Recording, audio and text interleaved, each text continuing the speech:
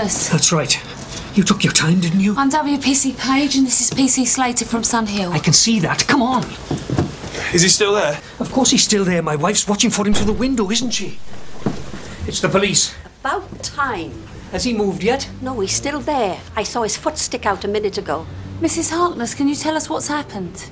Well, I was hoovering and I saw something out of the corner of my eye. I saw this young fellow climb over our wall and sort of fall with a bang and, and crawl behind the trellis. Well, I didn't know what to do. So she fetched me. I was on my way out. So you've seen him as well? Yes, I saw a bit of his leg and a shoe. So he's definitely still there? Of course he's still there. I've seen him move. Uh, well, we weren't going out there to check his pulse, were we? Right. Oh, leave it to me.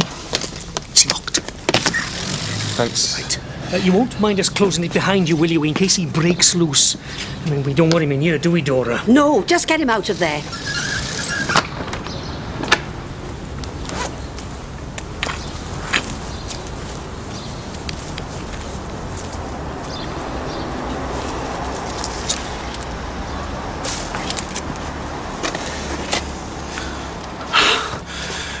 Hi.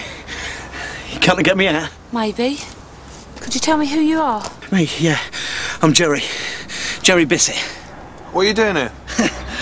Well, you're not going to believe this. Try us. Well, you know the shortest distance between two points is a straight line? Uh, yeah, yeah, yeah. Get on with it. Well, I was doing just that. Well, I was taking a shortcut from the side of that house to the side of this one. You got any ID? Yeah, hang on. My driving licence and other bits in there. Oh, no, look. I can't have bust me watch and all. Not your lucky day, is it? Where do you live, Jerry? Uh, 16 Gilray Street. Date of birth? 6th of September 1974. Look, uh, do you guys think you'll give me a lift to hospital or something? I think I might have broke my ankle. Can you stand? Yeah. Do you want to... Look, I'm sorry about all this. It's a real bummer. I'm taking up your time and all that. Right, do you think you can walk on it? Yeah, I think if I just put me pressure on my heel, I'd be all right. Right. Nick, I'm going to call in. Okay. Sierra Oscar from 469 receiving. Go ahead, Polly. Yeah, read that call to Hallam Grove. Can I have a PNC check, please? Bissett, Jerry. Date of birth, the 6th of the 9th, 74. Male, white, 6 foot. 469 from Sierra Oscar. Uh, no trace, not wanted. Yeah, well, there's definitely something iffy. Have there been any other calls to the area? Uh, Liz Rawton's interested in anything suspicious in the Bowles Road area? That's near to you, isn't it? Uh, there's been a series of burglaries. I'll get Liz to give you a call. Yeah, thanks, Tony. I'm sorry about this, guys. I feel so embarrassed. I bet they think I'm a real criminal. They look terrified. Perhaps I should apologise to them. Uh, no, I think that'll do more harm than good somehow. This way. Nurse! When are they gonna come and do something? I've been sitting here for three and a quarter hours. They're working as quick as they can. What's that? Auld Lang Syne. It's me watch. I hope it's still under guarantee. Cost me a packet. No, no, look at that. It's bust. So we're supposed to do that at midnight on New Year's Eve. Really? How many verses?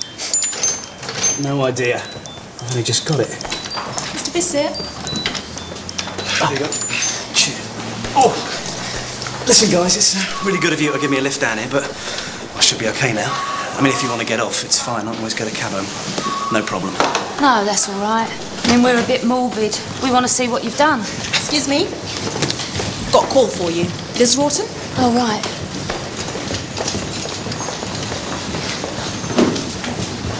Hello? That IC1 you've got with you down there, what's he look like? Yeah, he's late 20s, about six foot, dark hair, brown eyes, and he's dressed quite smart. Sounds promising. I'll be down to have a look for myself. There's something not quite right about him. He's a bit too smooth. Look, do you want me to go over to his address and confirm his ID? Nick will stay here with him until you get here. Yeah, yeah, that'd be great. Thanks, Polly. Cheers, Tony. No problem. The doctor's just taking a look at him. He thinks he might have broken a bone in his foot. It's got to be x-rayed. That's all I need. Well, that'll teach you for climbing over walls. Our Detective Constable Liz Rawton, she's on her way down to ask you a few questions. Detective? What for? I ain't done nothing. Well, tell her what you've told us. I'm going over to your address to find someone who can confirm your ID. Look, I'm Jerry Bissett, all right? Well, I'm not going to be there, am I? Because I'm here. Don't you people believe anything? Sometimes. PC Slater will be here with you until I get back. All right, Nick? This is getting totally out of hand. Yeah, well, I'm sorry about all this. Yeah, you and me both, mate. There you go. Dr. Down. Dr. Down's report to casualty reception, please. Look, uh, this has all come as a bit of a shock. Do you mind if you get me a cup of tea or something? Yeah, sure, no problem. Uh, milk, sugar? Yeah, but hang on. here. Let me pay for it. I wouldn't want to have that out against me. Oi! Don't you want to put the handcuffs on? No, I think I could outrun you.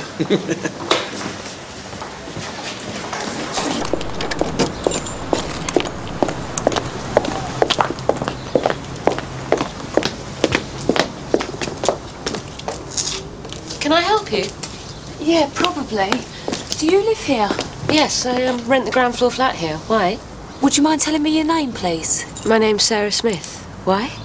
Does a man called Jerry Bissett live here? Yeah, he lives on his own, the top floor flat. Why do you want to know? Could you tell me what he looks like?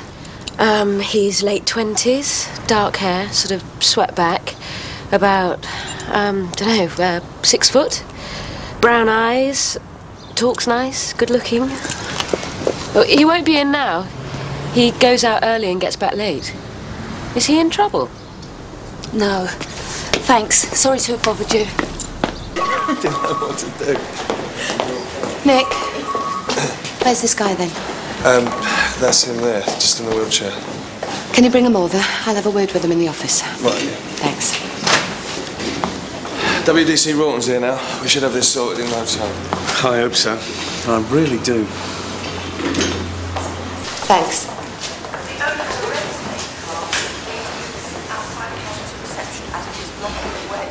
Jerry Bissett. That's right.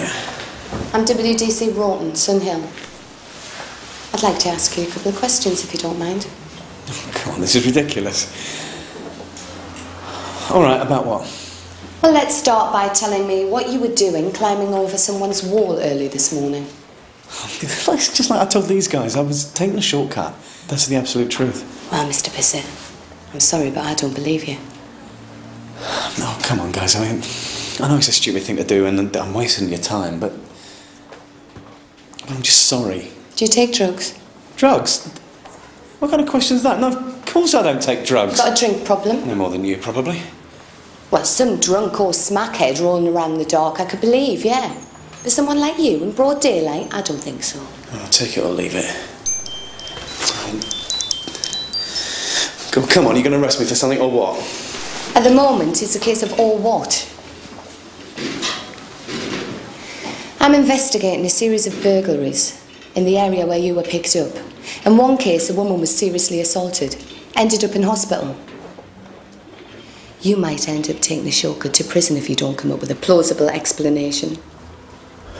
Look, do you mind if we have a word in private? It's, um, it's a bit delicate. Yeah, all right.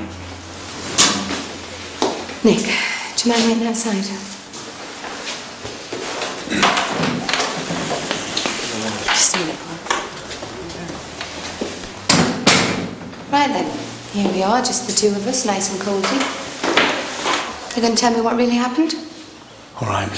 Well, the reason I jumped over that wall was because I was trying to escape from someone. Who? Someone's husband. Someone's husband. Whose husband? Look, for the past eight months, I've been having an affair with this woman who's 20 years older than me. Go on. Well, she always puts the chain on the front door just in case something like this should happen. And this morning, her old man turns up. Can... I mean, thank God we hadn't started anything, but Lord knows what he would have found. Well, all right. The- The long and the short of it is that as he comes in the front door, I get out through the back, you know, leg it down the garden, jump over the wall, and the rest is history. What's the name of your friend then? Oh, I can't tell you that. I could never tell you that. Look, she's got a grown-up daughter. If you guys go around there and start asking questions, you're going to drop everybody in it. I mean, screw everybody's life up. Look, if you're going to arrest me for something, just get on with it. But I'm just not going to tell you her name. Well, Jerry, if it comes to the crunch, you might have to.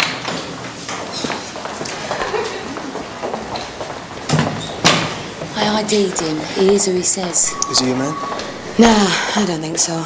He's been very cooperative as far as I'm concerned. We've got nothing on him, so it's up to you. We've got nothing. What did he say to you when you kicked me out of the room? Oh, go on, Liz. You can tell us. I mean, what's his story? Well, that's for me to know and you to find out. Is it all right for me to take Mr. Bissett down to X-ray? Yeah. Yeah. Right, well, we're off. No more jumping over walls for you, eh? Yeah, you take the long way round in future. Yeah, no, I've learnt my lesson. See you at the factory, Liz. See you later. Cheers. Thanks.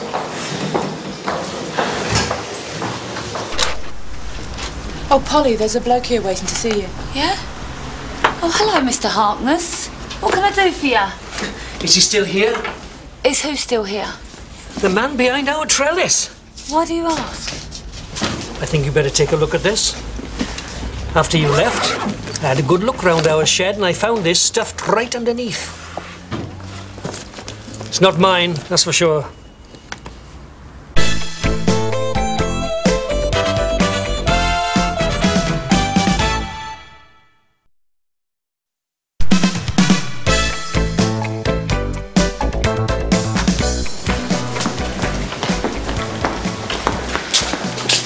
We were in here about an hour ago with a guy called Bissett, had a broken bone in his foot. Is he still around? No. His foot was plastered. We lent him a pair of crutches and he went home.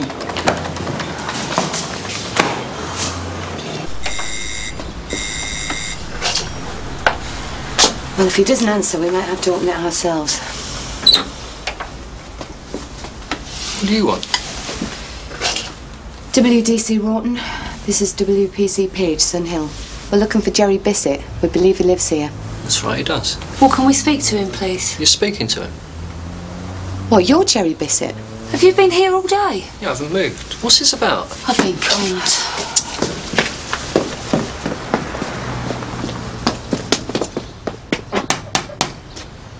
You lost your driving licence recently? Yeah, my flat got turned over about two months ago. Got nicked with some credit cards. Hello. I'm sorry. I've got a to- duplicate. You want to see it? Can it? I ask you a few questions? Are you Mrs. Smith? No, I'm Mrs. Naylor, and you just woke me up. Do you live on your own, Mrs. Naylor? Of course I live on my own. What are you saying? There's been a case of mistaken identity. Sorry we disturbed you. Sorry. Oh, this is all my fault. I'm really sorry, Liz. Hey, I'm the one who swallowed all that rubbish about him having to escape from someone's husband. Yeah, but just because the woman I spoke to had a key, I assumed she lived there. She was really cool about it, I'll say that for her. This Jerry Bissett, or whatever he's called, he must have rang her from the hospital. Yeah, but Nick was with him all the time. Look, Bissett was never out of my sight all the time he was in the hospital. And I didn't see him use a phone, all right? Did he have a mobile? No, because I searched him in the garden, didn't I? There must have been a payphone in the casualty department. He must have used that. Either that or telepathy. We'll have to go back to the hospital. Oh, do you want me to come with you? No, it's all right, Nick. We'll manage without you.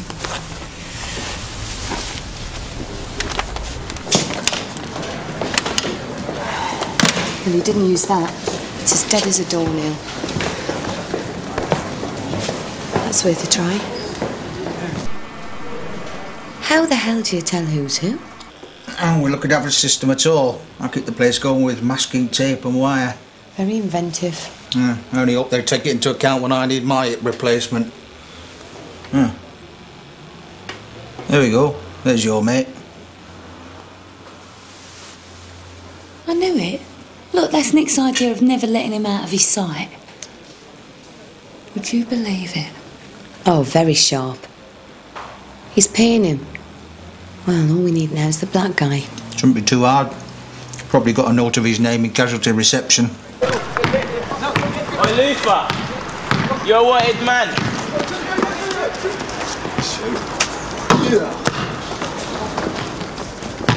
You Lisa Cooper? Yeah, that's right.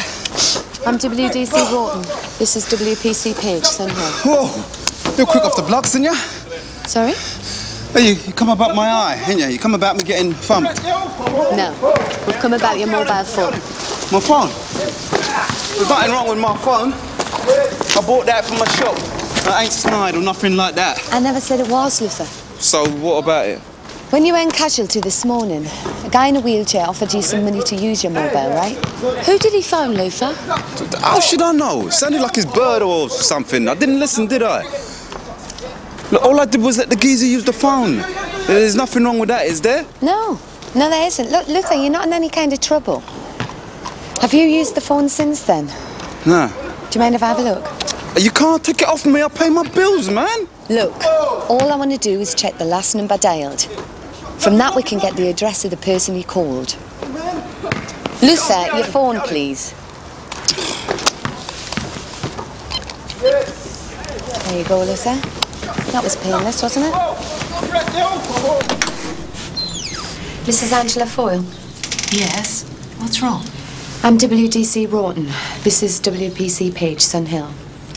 Do you have a mobile phone with the number 0802 80026? Uh, yes, I do. What about it? We'd like to ask you some questions, if you don't mind. Can we come in, please? Yes, of course. You'd like to go through to the lounge? Thank you. Mrs. Foyle, I'm investigating a series of burglaries in the area. In one case, violence was used. Really? Well, we haven't been burgled since we've lived here. Well, that's the way it should be. But I'd like you to tell me who it was who called your mobile phone at 20 past 11 this morning. Well, I'm afraid I don't know. You see, although the phone's in my name and I pay the bill, I don't own it. I mean, I don't have it here in the house. Where is it then? Uh, my daughter. I bought it at Christmas. Her phone had been cut off, so I gave it to her. Why do you want to know? Mrs. Foyle, was this your daughter? Uh, that's Sarah, yes. Is she in trouble? No. Not as far as I know. Can you tell me where she lives? She's a good girl. If she isn't in any sort of trouble, why do you want to know? Does she know a man about six foot, short dark hair, expensively dressed? A smooth talker? Look, I'm really sorry about this, but I'm afraid I don't know who her friends are, okay? Please, Mrs. Foyle. You've got her telephone number. I suggest you give her a call and see what she has to say. Mrs. Foyle, would it be all right if I take a look in your garden? What for? Well, there's just something I want to check, if you don't mind. And what if I refuse? Well, then, WPC Page will stay here. I'll have to go back to the station and get a search warrant. I don't want it to have to come to that.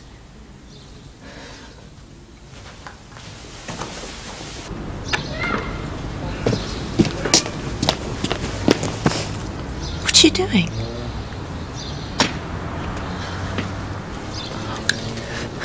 What are you playing at? Oh, sorry, Mr. Harkness. I just wanted to check something out. Have you caught him yet? You should never have let him go. You should have locked him up right away. Right, you should be catching him, not peering over people's walls. I will, Mr. Harkness. I thought so. The shed where we found Jerry Bissett is just over that wall. Who? Mrs. Foyle, where were you at nine o'clock this morning? Well, I was in the house having breakfast in the kitchen. Why? And did your husband return this morning at about that time? Yes, that's right, he did. He forgot his laptop computer, so he came back for it. How did you know this? I'm going to ask you one more question, and I want you to answer it truthfully. Mrs. Foyle, this won't go any further than us, I promise. Surprise me. Have you been having an affair with anyone for the past eight months? An affair? Whatever gave you that idea? Sorry, I had to ask that question. But I think you've just had a very narrow escape. An escape from what? At quarter past nine this morning, myself and another police officer found a man hiding behind your neighbour's shed, calling himself Jerry Bissett. That shed just at the bottom of the garden over your wall. We later recovered tools for breaking and entering. When he was asked what he was doing behind the shed, he said he was escaping because your husband had returned home and you'd been having an affair with him. And you believed him? We thought you might be able to tell us where we could find him. But why should I know who this man is? We think this man might know your daughter.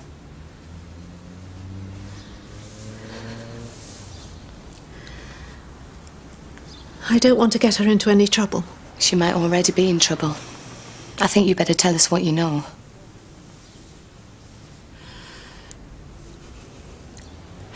Well, Sarah's got herself involved with this crook. His name's Tony Boyce. And I think he's a drug addict. But he can be very charming. And twist you round his little finger. You can say that again. He's ruining her life. He uses her. He he takes her money. Well, last night we had a row with her about it. Tom, my husband, threw her out of the house and said she couldn't come back and till she'd stopped seeing him.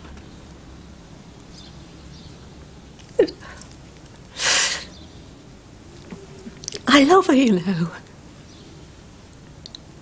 She's my daughter. And it's not her fault. He's just dragging her down with him. Could you tell me where she lives, Mrs. Foyle? Um, they share a flat in Hoxton Road, number seven. Thank you. Just lock that man up, please. Lock him up. For her sake.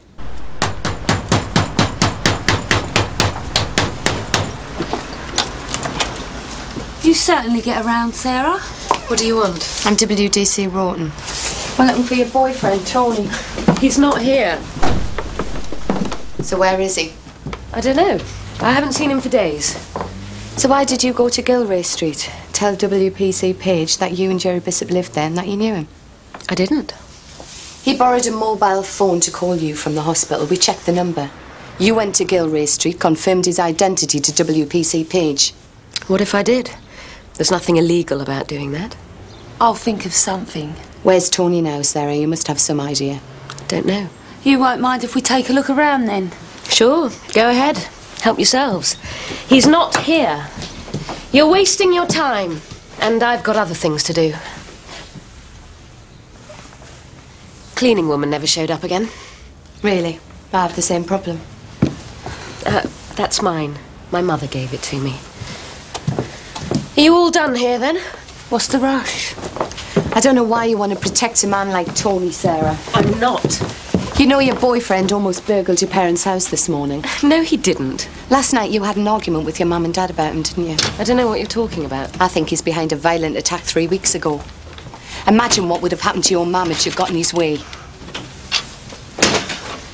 You know where he is, Sarah. Why don't you just tell us? Are you deaf or something? I don't know where he is. Hang on a minute, Liz. Right, I've had enough of all this. I want you to leave now. And if you want to search this flat, you come back with a warrant. That's my property! Don't touch anything that belongs to me! Just get out, will you? Just leave! Calm down.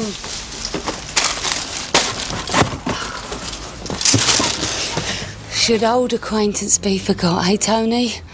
I don't think so somehow.